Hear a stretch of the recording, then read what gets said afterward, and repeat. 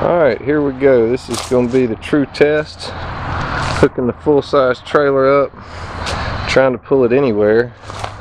Uh, maybe a challenge for the little tractor I've created. Put a few weights on the front, probably 35, 40 pounds.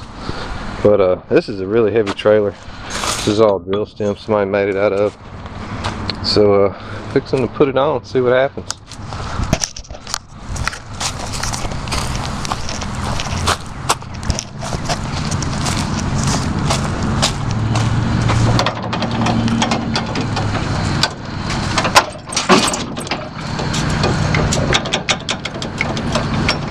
Holds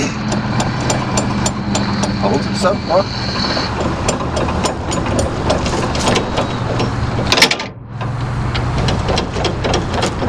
See if we can pull it.